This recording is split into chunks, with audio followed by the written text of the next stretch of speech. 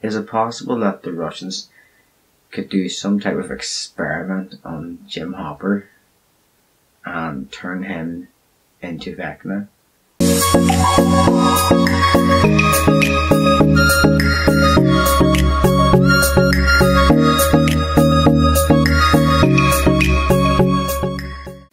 So I have a theory for Stranger Things season 4 that I just came up with on the fly. I thought it'd be fun to share with you guys and see if you think. Watching season 4, the new trailer, it showed the new villain, Vecna. He's all mutated and shit. 90% of what you see on Vecna is prosthetics, and 10% of it is computer generated images. They actually got the same makeup artist from Game of Thrones who worked on The Night King. They got him to work on Vecna. We all know Jim Hopper's alive and being held at a Russian prison camp. So I thought, you know, what if?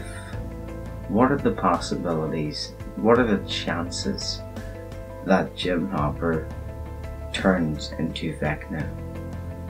As mad as that sounds, I wouldn't put it past the Duffer Brothers to pull the rug on, out from our feet like that. I wouldn't put it past them. It's unlikely, but then again, if you ever say that's unlikely to happen with theory and Stranger Things, it, it's more likely to be true. David Harbour said we're going to learn more about Jim Hopper in this season, see more of his past, you're going to see what he's made of. And he returns in the style of Gandalf the Grey. Where did the Demogorgons come from? Whenever you look at them, they're alien-like creatures, but they they also resemble humans. I know season two showed you how dark Demogorgons came to be, how, how what they're made of, how, how they're born, basically.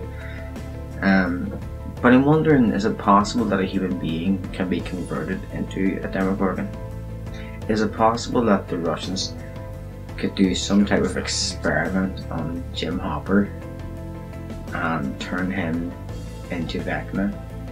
You know, do something with him, shove him the upside down, upside down takes hold of him, and then they use him like a puppet or something. The same way, if the human body is exposed to the radiation of space, you your cells will mutate. You're twice as likely to develop cancer. In season one, the Hawkins laboratory scientists tell Joyce and Hopper that the air is toxic. So what happens if you stay in the upside down long enough? Now Will Byers was rescued at the end of season one before the Upside Down could fully take control. What would have happened if they hadn't rescued him? Season 4 is meant to explore the lore of the Upside Down. We're going to learn more about it. We're going to see more Demogorgons, more Demo Dogs, and they've introduced Demo Bats. You know, it'd be really bittersweet. It'd be a real kick in the teeth, but it'd be interesting to see if they brought back Jim Hopper and then all of a sudden they experiment on him and he turns into Vecna and becomes the new great threat for the rest of the cast. And season four is meant to be the darkest season yet. That would be really friggin' dark. You know, imagine Eleven having to fight, you know, Vecna, and then she sees it's Jim Hopper, her adopted father figure who took her in. You know, that would crush her. Maybe that's what happens at the end of season four, leading into season five.